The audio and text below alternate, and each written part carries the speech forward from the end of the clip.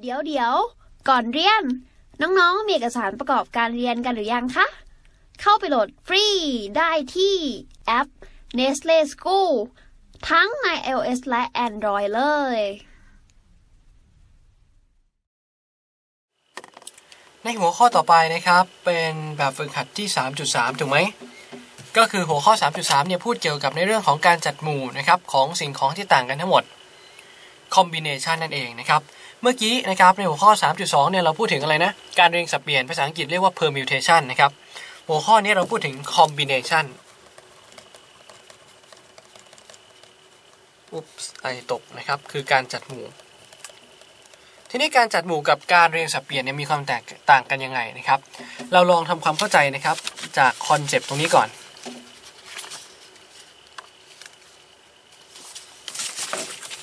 สมมุติว่า สมมุติว่าสมมุติว่า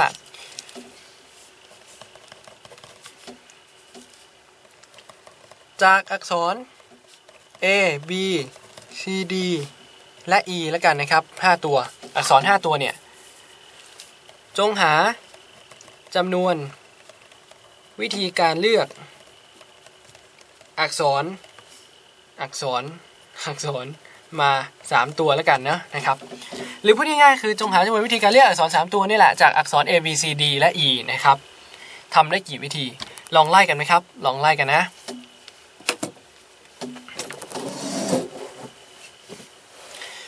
เอ่อ ก็จะมีอะไรบ้างครับ เราก็จะมีตั้งแต่ A B อะไรเอ่ย A B C ถูกไหมครับ อะคำถาม A B C กับ A C B ตรงนี้มีความหมายเดียวกันหรือเหมือนกันครับ มีความหมายเหมือนกันถูกไหมเพราะว่าเราต้องการจะเลือกเหมือนกับว่าเราเราหยิบมันมาไว้อยู่ในมือแหละ เราไม่สนใจลำดับ A B C กับ A C B ก็เหมือนกับเราหยิบมาแค่ A B C นะครับหยิบมา 3 ตัวเหมือนกัน เพราะฉะนั้น ACB ABC เนี่ยความหมายเดียวกัน และมีความหมายเดียวกับ BAC มีความหมายเดียวกับ BCA ด้วย มีความหมายเดียวกับ CAB และมีความหมายเดียวกับ CBA เพราะนั้นนะครับ 6เคสตรงนี้ถือว่าเป็นเคสเดียวกัน นับเป็น1นะครับ6ตัวตรงนี้นับเป็น1เคส1วิธีนะครับ ตรงนี้แค่1วิธี มีอะไรอีกครับ เราก็เลือกใหม่ อาจจะเป็น ABD ได้ไหมนะครับ ABD ก็ได้ถูกไหมครับ ABD ก็จะมีความหมายเดียวกับอะไรครับ มีความหมายเดียวกับ ADB นะครับ มีความหมายเดียวกับ BAD มีความหมายเดียวกับ BDA นะครับ มีความหมายเดียวกับ DAB และมีความหมายเดียวกับ DBA ทั้งหมดนี้ก็นับออกมาแค่ 1 วิธีเหมือนกันนะครับ นึกออกไหมเพราะมันจะเหมือนเสมือนกับว่าทุก ๆ 6 วิธีเนี่ยที่เราเลือกออกมานะครับ มันจะกลายเป็นทุก 6 วิธีเนี่ยที่เราเกิดจากการเอาอักษร 3 ตัวมาเรียงสับเปลี่ยนนะครับ จะได้แค่ 1 วิธีพอเห็นภาพนะ ทีนี้นอกจาก A B C A B D เราเลือกอะไรได้อีกครับ พี่อาจจะเขียนแบบนี้นะ A B C D E นะครับ วิธีการไล่นะครับ พี่ก็ไล่อย่างนี้ก่อนถูกไหม A B C นะครับไล่ A B C ก่อนไล่ A B ให้ครบนะครับ A B D A B อะไรอีกครับ A B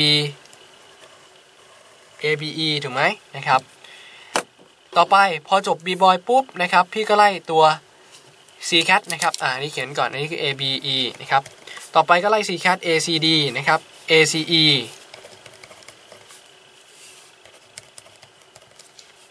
พอ C พอ C cat จบเราก็ไล่ A D ถูกไหมครับ A D E มีอะไรอีก A D E ก็ต่อไปก็ขึ้นตัว B นะครับ B C D B C E เห็นไหมครับ B C D B C E พยายามเขียนให้พอนะ B D E นะครับ และตัวสุดท้ายก็คืออะไรครับ CDE จบแล้วเห็นไหมนี่คือรูปแบบทั้งหมดที่เป็นไปได้นะครับ ซึ่งแต่ละเคสตรงนี้ก็จะมีไปไปเรื่อยๆของมันอีก 6 วิธีอีก 6 วิธี ซึ่งก็จะกลายเป็นเคสที่ซ้ำกันนั่นเองนะนะครับ เพราะนั้นถามว่าทั้งหมดมีจำนวนวิธีในการเลือกกี่วิธีครับ ตอบ 1 2 3 4 5 6 7 8 9 10 ตอบ 10 วิธี อันนี้คือจากการนั่งนั่งนั่งไล่นับถูกไหมครับ answer คือ 10 วิธี จากการนั่งไล่นับ ทีนี้เราเราพยายามอยากทำให้มันดูเป็นระบบมากขึ้นเราทำไงครับ เราบอกว่า เฮ้ยมันเหมือนกับจำนวนวิธีในการเลือกอักอกษร 3 ตัว จาก 5 ตัวมาเรียงสับเปลี่ยนเลย จริงเปล่าแต่แต่แต่ทุกๆ 6 ตัวเนี่ยต้องถูกหารออกนะครับ มันคือ 5p3 ถูกไหมครับ 5p3 หารออกด้วย6ใช่ปะถ้าความรู้เรื่องการเรียงสับเปลี่ยนเมื่อกี้แม่นเนี่ยเราจะพอเข้าใจละมันคือ 5p3 หารออกด้วย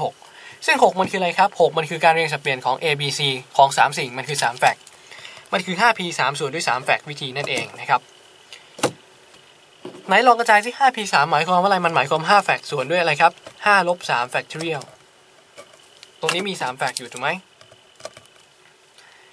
เราเลยกำหนดอักษรตัวใหม่นะครับ เมื่อกี้ P มาจาก permutation ถูกไหม อันนี้ combination เราเลยบอกว่ามีค่าเท่ากับ 5 C 3 ขึ้นสัญลักษณ์ใหม่แล้วนะ 5 C 3 นะครับ คือการเลือกของ 3 สิ่งจาก 5 สิ่งแตกต่างกัน มีค่าเท่ากับ n f a c ส่วน n ลบ r factorial คูณ r f a c นะครับ NCR นะครับ คือจำนวนวิธี การเลือกนะครับ สังเกตนะว่าใช้คำว่าการเลือกพอเป็นการเลือกเมื่อไหร่นะครับลำดับจะไม่มีความสำคัญอีกต่อไป A B C A C B เนี่ยความหมายเดียวกันนะครับ จงหาจำนวนวิธีการเลือกของ R สิ่ง จากของแตกต่างกัน n สิ่งนะครับ อันนี้เมนชั่นนิดนึงว่า r ต้องมีค่าน้อยกว่าเท่ากับ n นะครับทำได้กี่วิธีครับ มีค่าเท่ากับ n factorial ส่วนด้วย n ลบ r factorial คูณอยู่กับ r fact นะครับ เห็นไหม ncr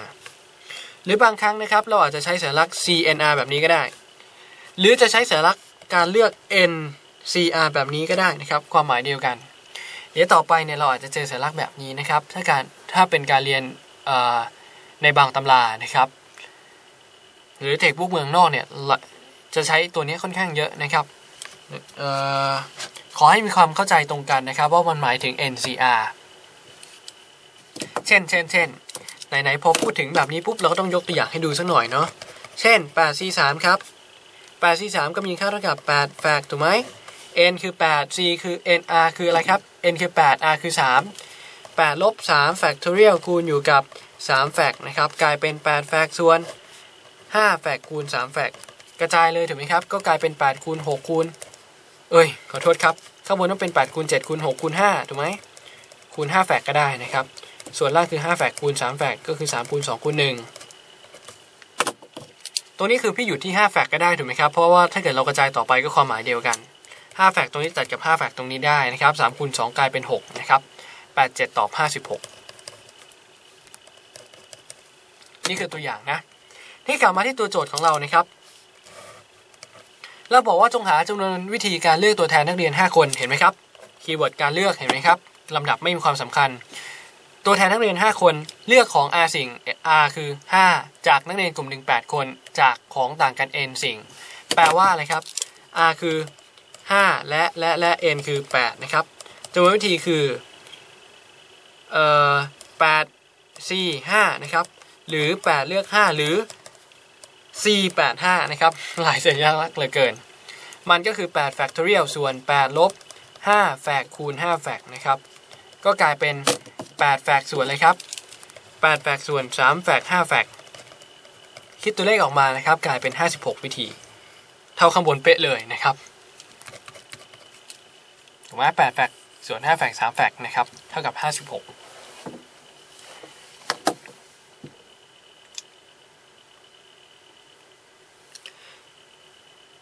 ข้อสังเกตอย่างหนึ่งนะครับ เราจะเห็นว่า 845 กับ 843 เนี่ย มีค่าเท่ากันเป๊ะเลยถูกไหมเพราะมันก็เปรียบเสมือนกับว่า จงหาจำนวนวิธีการเลือกตัวแทนนักเรียน 3 คนจากนักเรียนกลุ่มหนึ่งซึ่งมี 8 คน ความหมายเดียวกันพูดง่ายๆก็คือเราเลือก 3 คนเนี่ยออกถูกไหมเราเลือกนักเรียน 3 คนเนี่ยออกไปนะครับ มีความหมายเดียวกับจำนวนวิธีการเลือกตัวแทนนักเรียน 5 คนนะครับ เข้ามานะครับ สามารถนับจำนวนได้เท่ากัน โอเคนะมันในข้อนี้นะครับสรุปนะ NCR คือจำนวนวิธีการเลือกของ R สิ่งจาก N สิ่งต่างกันนะครับทำได้เท่ากับ NPR ส่วน R fact ถูกไหม ก็จะกลายเป็น n fact ส่วน n ลบ r factorial คูณ r fact นะครับ นี่คือสูตรถูกไหมครับ เช่น 8 4 3 คือ 8 fact ส่วน 8 ลบ 3 factorial คูณ 3 fact อย่างข้อนี้นะครับ เราบอกว่าเลือกตัวแทนนักเรียน 5 คนจากนักเรียน 8 คนก็คือ r คือ 5 n คือ 8 นะครับ 845 หรือ 8 เลข5เท่ากับ 485 นี่แหละ 3 สัญลักษณ์มีความหมายเดียวกันคือ 8แฝกส่วน 8 ลบ 5แฝกคูณ 5แฝกนะครับ เท่ากับ 56 วิธีเป็นคำตอบนะครับ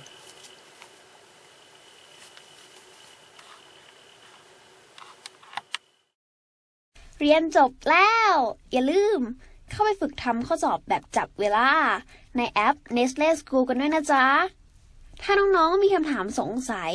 ไม่เข้าใจตรงไหน ถามว่าในแอปได้เลย แล้วพี่ๆจะรีบเข้าไปตอบให้นะคะ ไม่มีอะไรจะสูงเท่า เราพกความรู้ไปดูได้ทุกที่